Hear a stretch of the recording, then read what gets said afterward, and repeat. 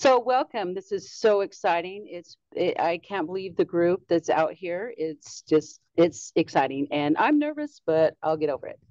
So the first thing I want to talk about, if you have not done Windows updates and you are just turning on your, you're taking it out of airplane mode or turning on your internet for the first time, Windows is going to hit your tablet and you won't be able to do our download. So please give your tablet some time to do a Windows updates. It's very important that we keep our tablets up to date, especially Windows 11. It's there. Windows 11 is so naughty.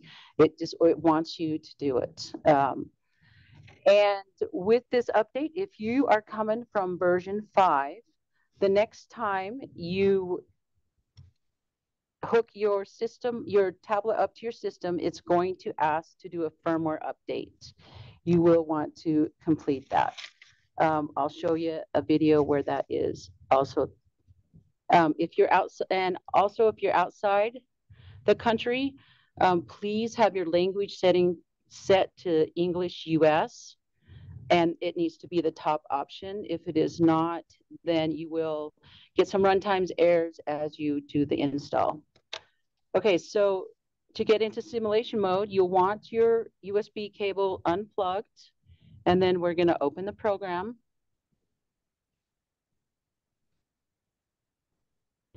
And it's going to tell us we can't connect. I'm just going to hit OK because I want to go into simulation mode.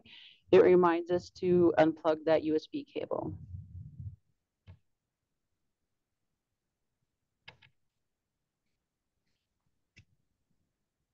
And then once it's open, I do want to talk about something that I'm not sure everybody knows about it. And right here, it says new notifications.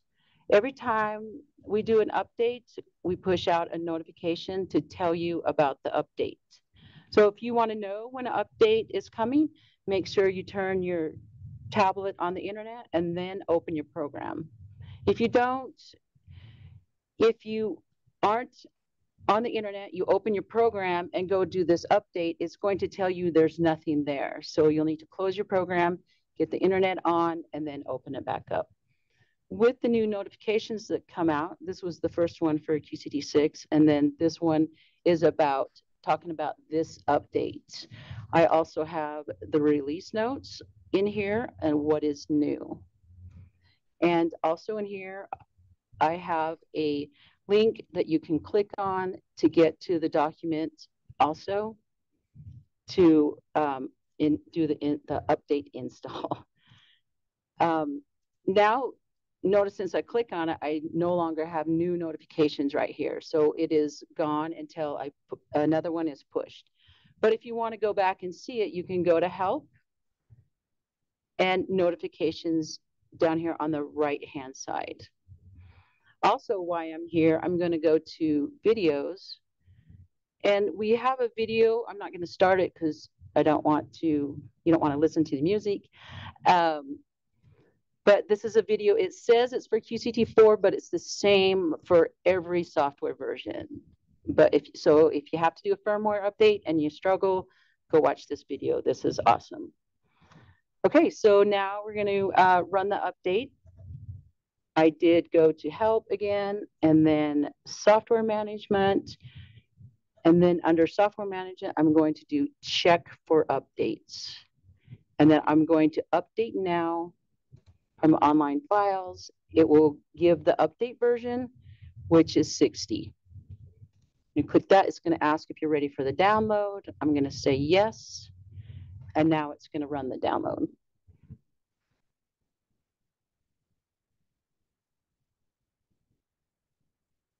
I could sing to you, but you probably don't want me to. So Marie, there's some questions here about if this is different if you have an older version of five or six or basic plus or pro. Um, no, it's all talk to that. Yeah, it's all the same. Um, the only big difference is if you're coming from version three. And that's just, it has just a little bit difference. But if you follow the, the defaults, then you'll be fine. So the, I don't know, um, the user control came up on my end. I'm not sure if you see this one, but you'll say yes to the user control. And then the wizard comes up and we're just gonna go through all of the, the defaults on here. I'm gonna say next. I'm going to accept the license agreement. And then next. This is where it will install the folder. I'm gonna say yes. It's gonna tell us the folder already exists. That's because this is an update and we're updating on top of another version. I will hit yes. And then next, you want to check and make sure your desktop icon is checked.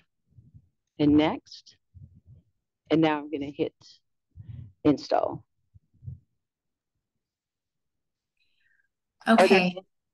There are some questions, Marie. We had just to be clear, is this an update from five to six or version of six with updates? So this that we're showing you today is new updates for the current six. So if you have six, um, at It's all, also- the update came out yesterday. So It's also, Jacqueline, it's also Mhm. for five, for Mhm. people who have five or people who have four also. So this update will work for four and fi- three, actually three, four and five.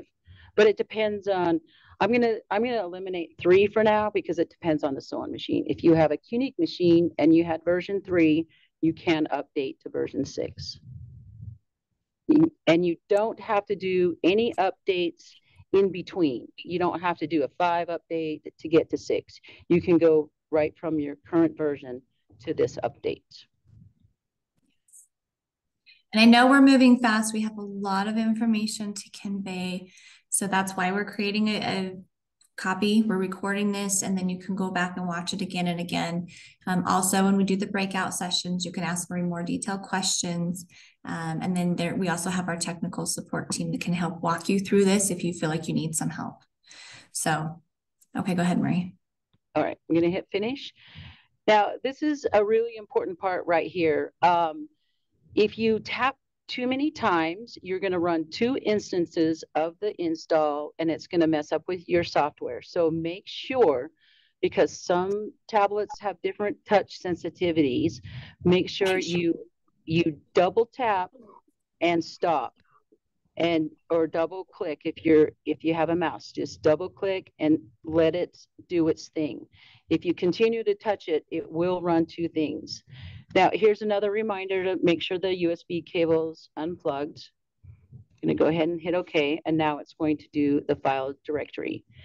If by any chance you have a problem right here where it's doing the file structure and it gives you an error, there could be a couple things going on. It could be your virus protection program is not allowing to write this the, the file directory, or you don't have permissions. You need to be admin right of your tablet or device for that to go.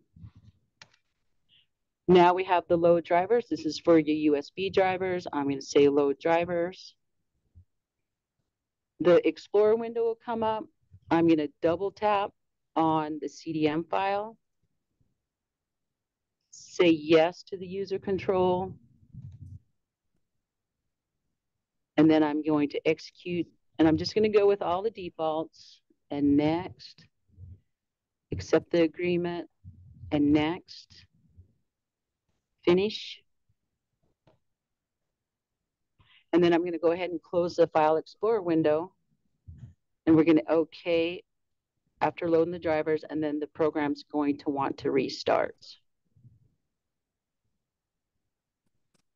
And then it's going to ask about simulation mode. Um, well, it's going to ask that you're not connected. I'm going to hit OK because we do want to go into back into simulation mode.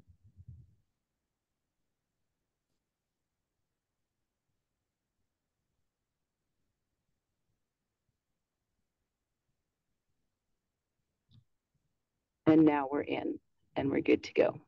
So that is the, the update.